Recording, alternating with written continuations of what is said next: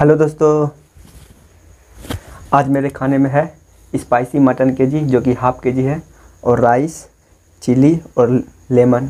और extra gravy चलिए दोस्तों खाना स्टार्ट करते हैं वीडियो अच्छा लगे तो लाइक कीजिएगा